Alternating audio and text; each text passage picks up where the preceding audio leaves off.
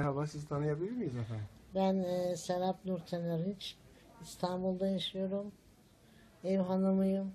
44 yıllık evliyim. Eşimi bir sene evvel kaybettim. E, üç tane kız evladım var.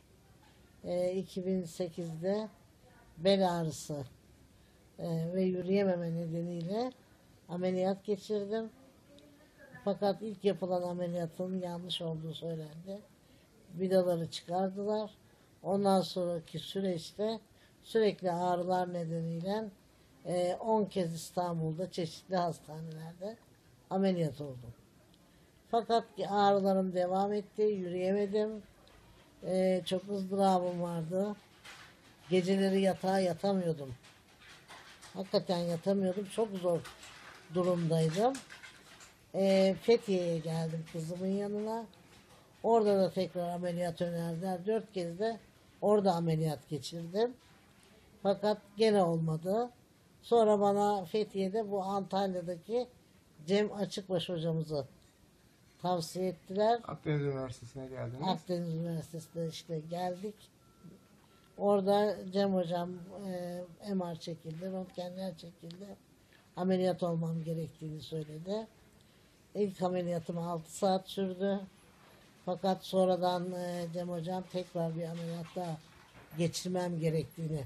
Fakat bu sefer de belden değil de önden açıp gireceğini söyledi. E, bu ameliyatım da 9 saat sürdü.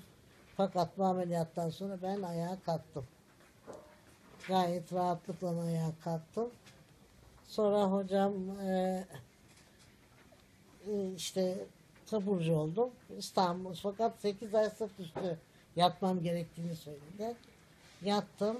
Fakat ayaklarımın ağrısından kesinlikle kurtulamadım. E, bu da sağ ayağımın başka bir hastane, İstanbul'daki bir hastanede sinirinin alınması neden olarak gösterildi. Sonra Cem Hocam dedi ki ben seni bir daha ameliyat etmek istemiyorum. Sana pil takacağım. Eğer bu pil sayesinde rahatlarsan yani ameliyattan takacağını söyledi. Ben de tabii ki bu ağrılar nedeniyle kabul ettim. Sonra ilk ameliyatımı oldum. Kablolar takıldı. Omuriliğin içine kablo yerleştirildi. E, Cem Hocam bunda da çok başarılı oldu. E, sonra aa, baktım ayaklarımın ağrısı işte bir hafta süre gelen bir zaman içerisinde deneme yapıldı. E, ağrılarımın kesildiğini anladım. Ve takılmasını kabul ettim.